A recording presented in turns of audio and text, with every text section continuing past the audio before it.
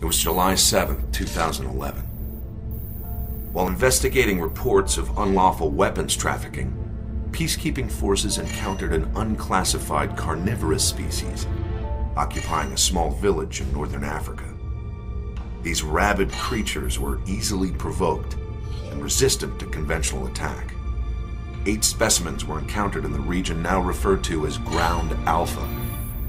Only four were successfully contained for study. Victims of the attack were quarantined at a research facility nearby. These victims displayed signs of internal liquefaction and accelerated necrosis, similar to symptoms of other flesh-eating viruses native to that region. But it wasn't a viral outbreak. It was a parasitic infestation. A previously unidentified species of hookworm was found beneath the skin of the ground alpha specimens. These parasites, we call them alpha worms, laid dozens of eggs inside their hosts, which in turn produced numerous larvae. These larvae penetrated the bloodstream and triggered a variety of genetic failures. However, unlike most genetic failures, these symptoms were not fatal. Instead, infested victims were larger, stronger, and driven by hunger. We quickly lost control. We were left with no choice but to contain the infestation by drastic measures.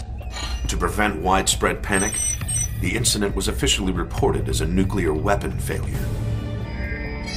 Using the research gained from the ground alpha specimens, we quickly assembled a team of some special individuals.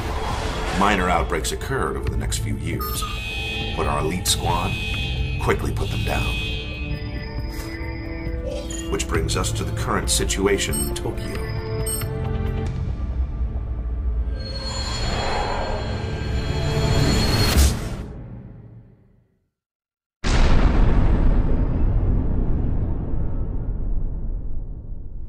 Thousands more dead. Our troops can do nothing. Is this it? Will you bomb us too? Well, not exactly. We use a laser now. What?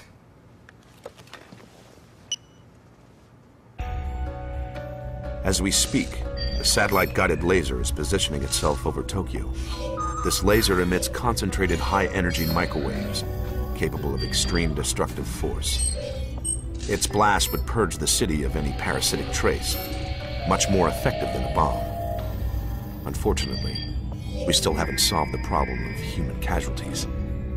But my city! How could you?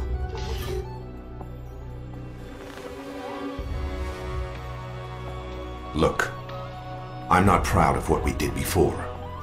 God help me, I swore we'd never do it again. We cannot let this infection spread. Many, many more lives would be lost if it did. So, is that it?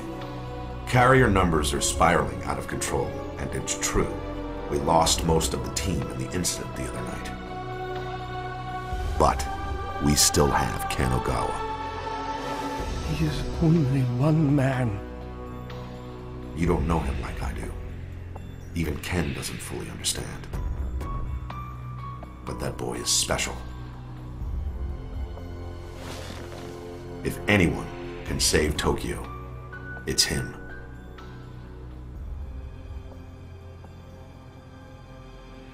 How's he doing, Doctor? Honestly, Agent, he's lucky to be alive. The blade came within millimeters of a vital artery. It would take a master swordsman to make that kind of mistake on purpose. He has work to do. You have work to do.